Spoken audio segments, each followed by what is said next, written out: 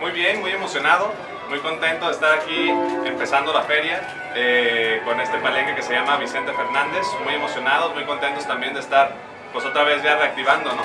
Que duramos un año de carrera, pero luego estuvimos dos años pues, inactivos por temas de COVID y, otras cosas y ahorita estamos retomando y es mi primer palenque después de esto, entonces pues muy, muy, muy, muy emocionado. Este, es un honor estar aquí, te digo, que estén dándole eh, el nombre al palenque a mi abuelo. Yo después de aquí voy a ir con mi abuelo a compartir, no sabe, no le he dicho, este, pues de que tiene, se me fue, digo, ya lo he visto y todo, pero no le dije que, pues que iba a ir a un palenque con su nombre y todo eso y llegando se lo voy a decir, le voy a decir cómo nos la pasamos y, y todo.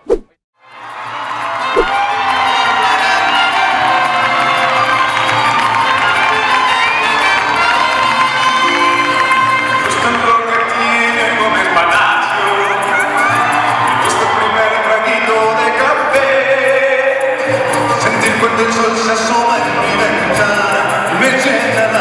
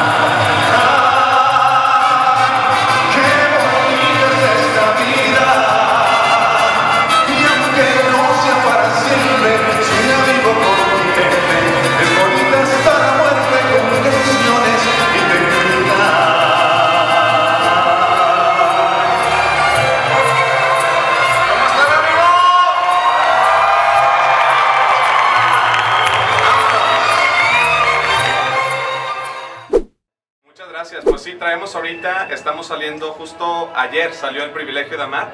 Eh, traemos mucha música, traemos ya una producción lista completa que fue hecha con Eden Muñoz de calibre 50. Eh, esta, eh, privilegio sale como eh, sencillo editorial, pero ya próximamente estoy a punto ya de grabar el, el siguiente sencillo que va a ser otro focus track que está padrísimo este, y, y pues muy emocionado, ¿no? Porque estamos sacando música eh, continuamente y ya vamos a estar trabajando mucho. Gracias. A